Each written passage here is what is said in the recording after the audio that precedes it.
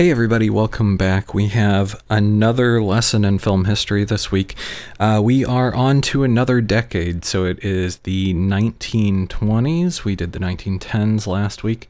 Um, and we're going to focus on Germany and Russia this week. That's not to say that, you know, film history didn't progress in the United States. We're just kind of looking at these two countries because we have like uh, booming industries that just kind of take off in these two different countries. In the United States, there's um, plenty of stuff going on in Hollywood. There's the rise of movie stars. Um, there's a whole bunch of stuff going on in Hollywood, but um, over in Germany, we have some really cool stuff.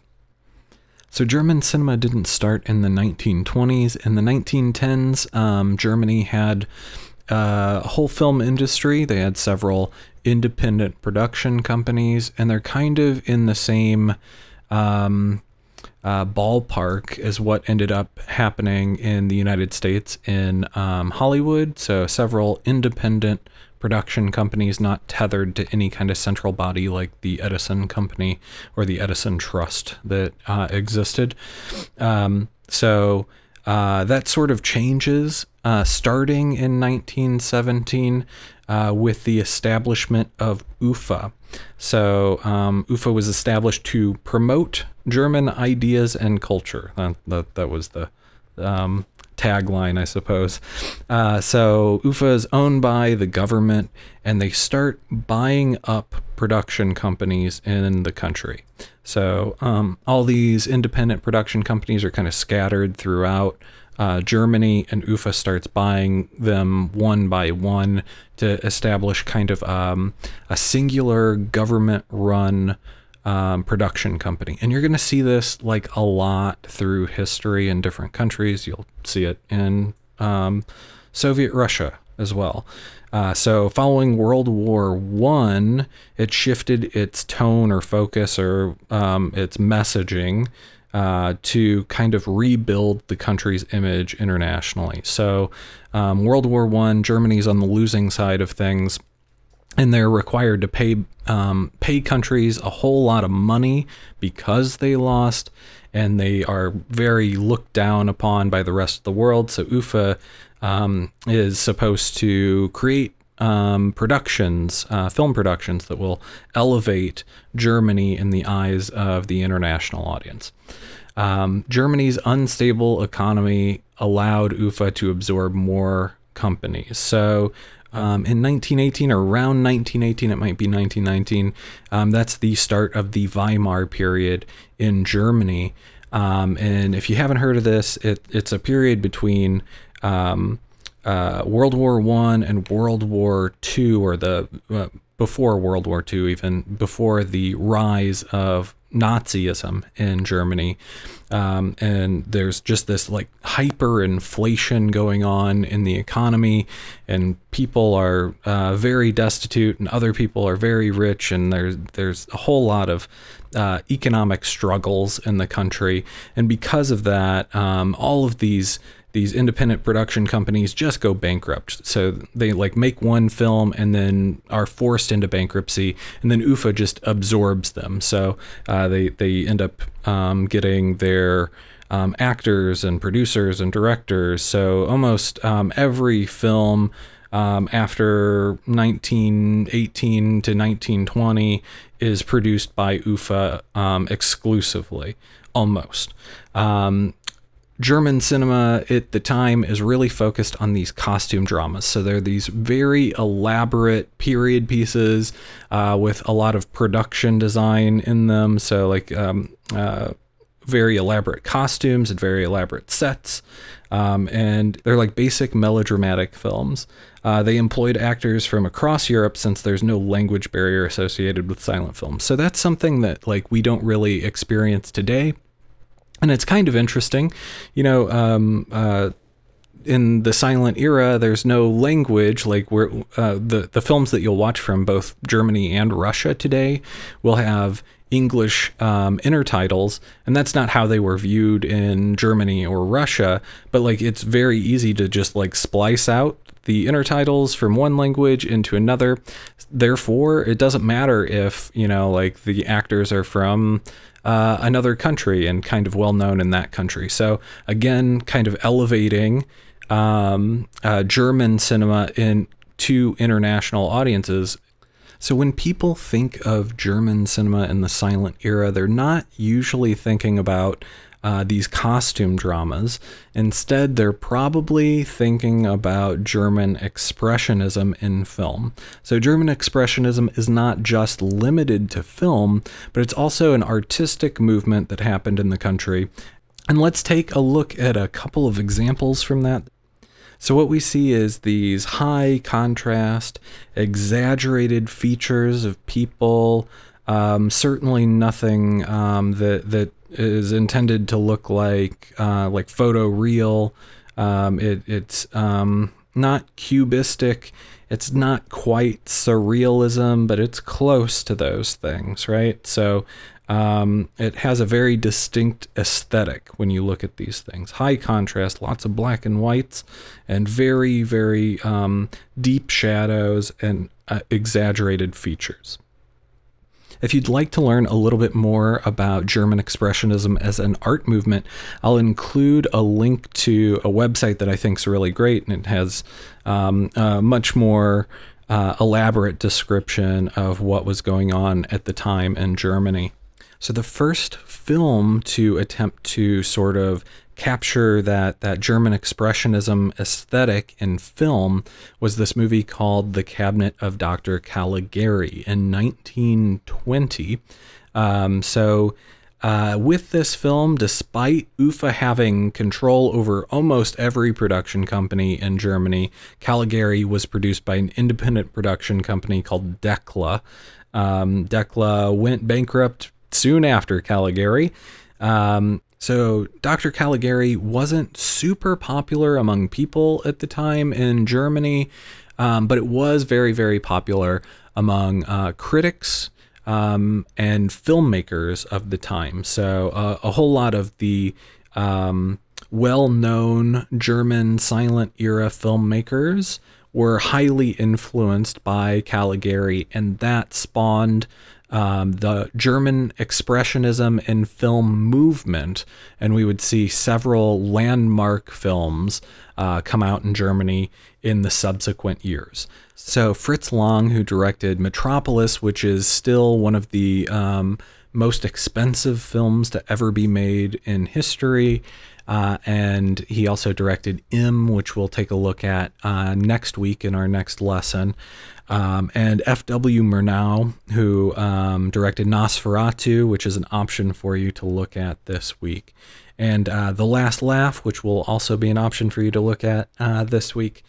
So those people that were uh, highly influenced by Caligari um, uh, used that aesthetic influence in their films, and that sort of spawned this whole um, German expressionist movement.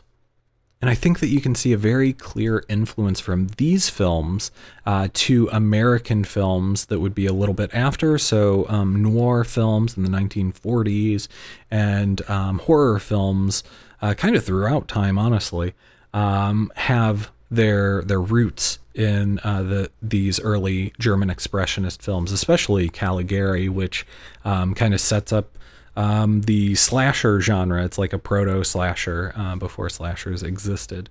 But you could certainly see the influence on uh, really modern filmmakers like Tim Burton. So if you watch a um, Tim Burton movie that's not brand new, maybe um, maybe from like the 1990s or even early 2000s, you should be able to see a very clear influence uh, from German Expressionism on his aesthetics.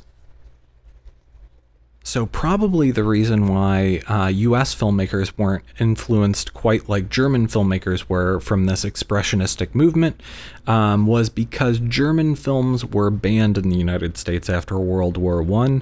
Um, and a lot of US producers felt good about that because they didn't have to compete with German cinema at the time. So, again, if you think about um, uh, just how different uh, the film industry would be uh, internationally at the time. Like, it, regardless of what um, what language is spoken, uh, these films are very easily translated to audiences with uh, different languages. So in Germany, um, you can have films with intertitles that are English, and it's every bit as good as a film that's made uh, natively with the English language. And a lot of these German films had very, very large budgets. So, because of the weird economics and the Weimar period, um, a lot of production companies were able to make very, very expensive movies. Uh, but as soon as they did, um, they tended to go bankrupt right afterwards because um, the, the production cost so much and uh, they wouldn't get that money back um, it, it, usually resulted in a bankruptcy, and then UFA would absorb it. UFA would actually um, uh, go bankrupt themselves uh, with the production of Metropolis in 1927.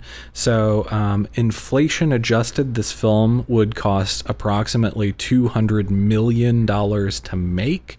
Um, so, uh, very, very expensive film at the time. And if you're thinking about what's going on, um, uh, economically, it's probably a very bad idea. Uh, that said, um, it, it is a landmark film that employed over 37,000 extras. So there's plenty of scenes where people are running around in the streets, and there are so many people. Um, and if you uh, it, it's something that just like wouldn't happen today. So like uh, with the advent of cgi and stuff you don't need that many people physically there. Um, instead you can kind of place them with computers. So if you want to see something that's completely unique in that regard uh, metropolis um, is certainly that. So to bankroll metropolis that would cost $200 million basically. Um, UFA could not um, afford it. So they um, struck an agreement with Paramount and MGM, so those United States uh, production companies.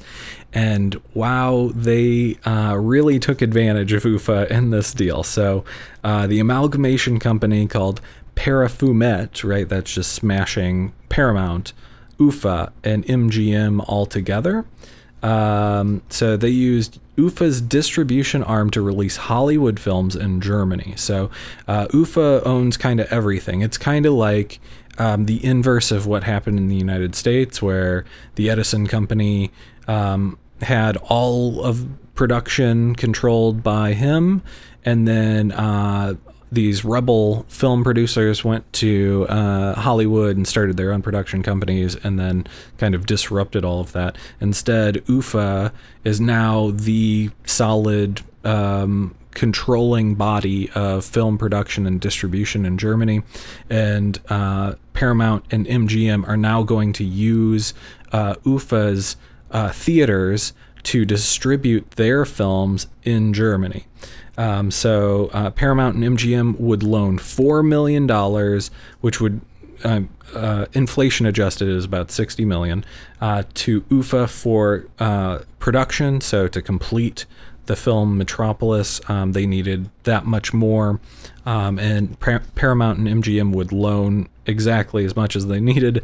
Uh, and in return, 75% of the films shown in Germany would now be uh, produced by Paramount or MGM. So, in all of their theaters, they're showing um, American produced films.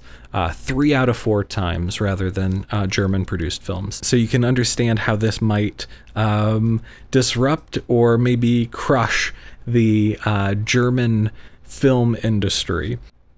And by 1927, the same year Metropolis would uh, be completed, uh, UFA is nearly bankrupt and sold to a newspaper industrialist who focused the company on German nationalism. And you might be familiar with that term, German nationalism. So uh, UFA is now um, not not 1927, but like it's headed towards a purely um, Nazi propaganda um, company. So, around the same time over in Russia, there's a lot of interesting things going on, and we're just going to go over them kind of briefly to give you some context uh, around what's going on with the film industry. I think it's really uh, essential to know. That said, you know, um, you can certainly dig a lot deeper into this stuff just kind of breaking down the bullet points for you. So, in the early 1900s, Russia is ruled by, under an imperialistic government known as the Tsardom, um, and cities become much more populated and poverty is rampant. So, you know, it's not like kings and queens, but sort of like that. There's several of them inside of uh, Russia at the time, and there's no real like centralized Russian government, and other countries don't really like. Uh, like to to deal with Russia very much, and they're falling behind um, other countries around them.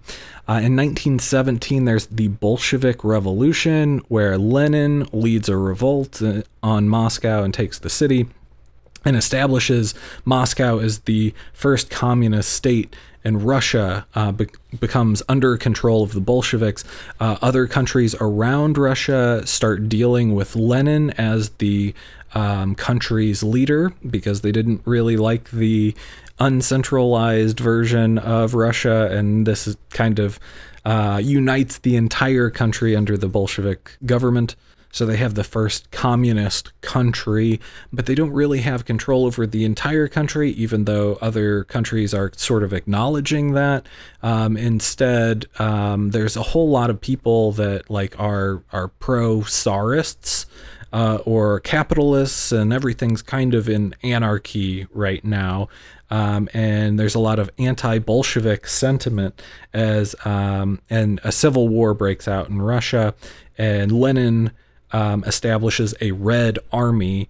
And there's a white army that's like the the opposite side. And it's like kind of um, uh, it's not just people that are pro Tsar but they're also they're, they're basically just anti Bolshevik right? Like they have uh, different ideas of how the country should be run so Lenin with his red army basically crushes um, the the White Army, and in 1918 they uh, execute uh, the Romanovs, which is basically the end of the Tsardom. Um, it's the last uh, family dynasty. Uh, the entire family is killed, so there, there's no way that like um, there's any kind of heir to um, you know the the Russian Tsardom. But the Red Army continues uh, across Russia into Asia and uh, uh, establishes the Soviet Union. So you may have looked at a geography book um, prior to you know like the the 1980s and seen the Soviet Union as this gigantic swath of land.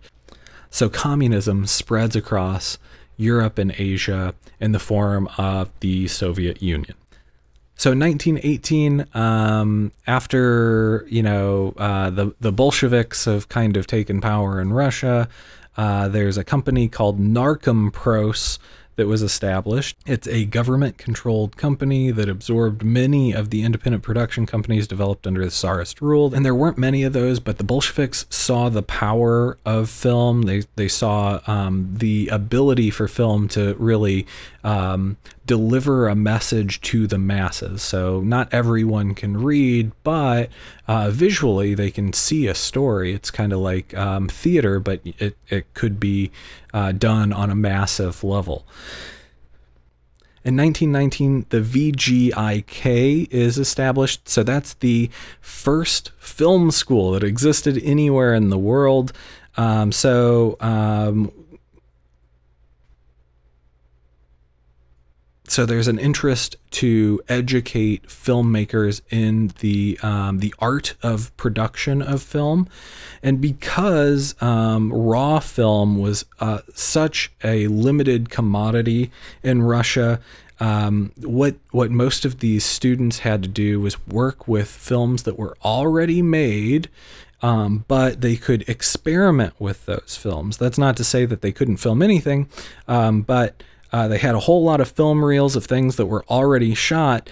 Um, and how do you experiment with those film reels? Well, through editing. So you can um, cut that stuff up and experiment and test things uh, that maybe weren't around before.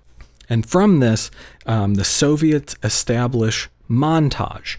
Um, so, montage is just a, a series of non continuous images. So, does that make I'm not sure if that makes sense to you without actually seeing it, but we'll take a look at uh, one of these very shortly. A series of non continuous images. So, most of the time when you're watching a film, uh, everything happens in continuity. So if someone opens a door, we expect to be maybe like the camera moves outside and we see someone walk through a doorway outside from that door, right? Continuous action from one shot to another. Uh, but non continuous action would be, you know, um, uh, a shot of something and then a shot of something else that's completely different, right? Montage is a series of those, and you have probably seen montage before. Um, the Rocky training montage. Um, there's basically a montage in every film nowadays, so uh, pick your film and you'll probably find a montage in there somewhere. Usually, the idea with a montage is to um, kind of compress time, so you don't need to watch Rocky train for two months straight. Instead, you can have it for a few minutes and see his progression from not being very good at boxing to being really great at boxing. And with this idea of montage, the Soviets establish all of these um, very specific uh, methods of montage metric, metric montage, rhythmic montage, tonal montage, overtonal montage, and intellectual montage. Each of these have its own kind of um, a distinct style. Metric montage is just every shot is the same amount of frames. Rhythmic montage, there's a visual rhythm. Remember, you know, there there's not music and there's not um, th- there's no sound in these early silent films, so it's a visual rhythm and Tonal montage utilizes the tone of the film to dictate how it is cut. Overtonal montage kind, kind of mixes those things together. An intellectual montage um, puts two disparate images together to give you a whole new idea of uh, meaning, right? So there's an idea that goes along with this, this thesis plus antithesis equals synthesis. And then there's a little equation there that your um, film professors probably won't like. One plus one equals three. And uh, what does that mean exactly? Well, uh, basically, there's a German word for it called Gestalt. The uh, sum of the parts are greater than the parts individually. So, like the uh, as a group, um, the group is stronger than any single shot. So you just see one shot, uh, and then you just see one shot, but uh, and that that has some kind of value to it. But if you see one shot and then the other shot, there's a bigger um, a bigger concept that you get out of that. And here's a quick example of how that uh, equation kind of works. So this is an experiment uh, that would later be called the Kuleshov effect. So you see um, these images. Let's take a look real quick. Soup and a man and then we have another child in a coffin, and then a man looking. And finally, a third one, and it's um, a beautiful woman on a sofa and a man looking. So, uh, this is a quick recap of those things. Um, when shown to audiences, they would perceive um, soup and man looking as the man is now looking at the soup, and maybe they even perceive things like he's hungry for that soup. Um, in the second shot, the child and the man. So it's the same shot again, like same exact shot, right? The, no change, no extra frames or less frames or uh, an alternate take or anything. Child and man looking. Uh, audiences would perceive that he's sad about the child or has some sort of feeling about that child that there's there's a relationship between those two images same goes with uh, the final shot with the woman and the man that he may be looking lustful at the woman right so um, you put um, that emotion on this person, he didn't act in a way that he was like thinking that stuff. Instead, it's um, the series of images and their relationship with each other, where they happen, uh, that tells you that story.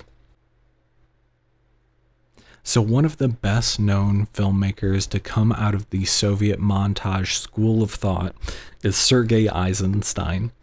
And the best known film that he made is called Battleship Potemkin in 1925. It is a highly influential film, uh, both both positively and negatively. It's a pro Bolshevik, anti Tsarist propaganda film, and it's banned in the United States, the United Kingdom, and other countries, and it's banned in the United Kingdom uh, for a very long time, longer than any film in history.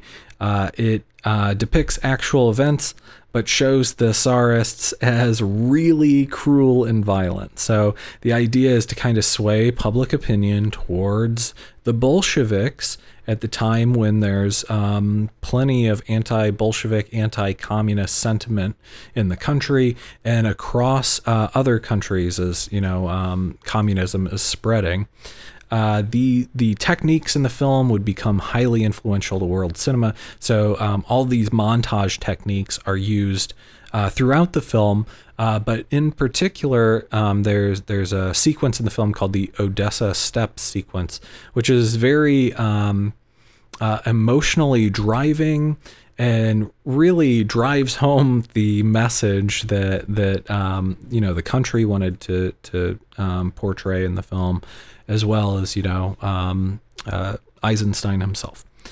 Uh, and chances are you've seen some form of the Odessa step sequence in uh, other films. It's been parodied a bunch and just kind of referenced in a whole lot of films as well.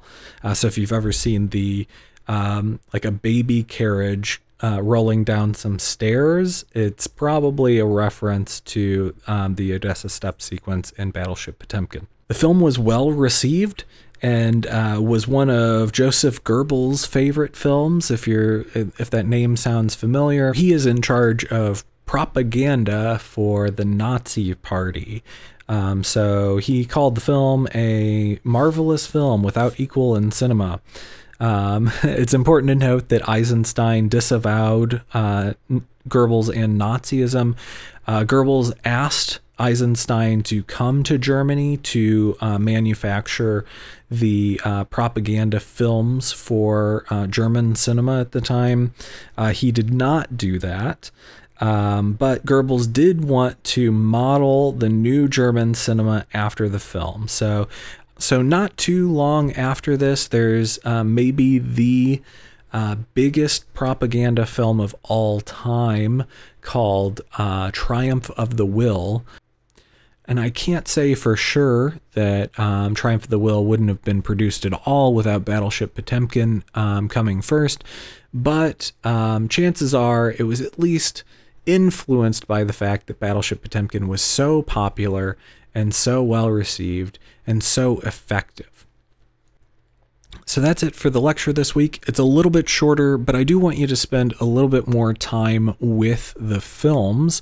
And you can kind of choose your own direction with this. You can either follow uh, the German Expressionist movement and watch a couple of films there, or you can uh, follow the, uh, the Soviet Russian films with uh, montage and uh, these pro Bolshevik um, messages, and at least one of them. Um, you have some choices with German Expressionism. I'll put like a list of four or five there, um, but you are kind of forced with uh, Soviet Russia. So I'm gonna I'm gonna give you an experimental film from 1929 called The Man with a Movie Camera that I think is really interesting. Not a whole lot of intertitles in that one, um, and then Battleship Potemkin. Uh, on the German side, you have to watch uh, Cabinet of Dr. Caligari, uh, but then it's your choice which other one you want to watch. So there's a sci fi one in there, there's a horror one in there. Um, lots of interesting things on both sides. Uh, German Expressionism is much more like aesthetic and artistic, and um, the Soviet uh, films are much more editing and montage and um, also propaganda in in one instance. Um, so watch those films, and then um, your blog entry can basically be whatever you'd like on either German Expressionism or uh, the the Soviet Russian film movement. So it's probably going to be about editing on one side and probably about you know um, what it looks like artistically on the other side. So, uh, good luck to you this week. You have a lot of freedom. Uh, use it wisely. And I will see you all in one week's time with some more film history.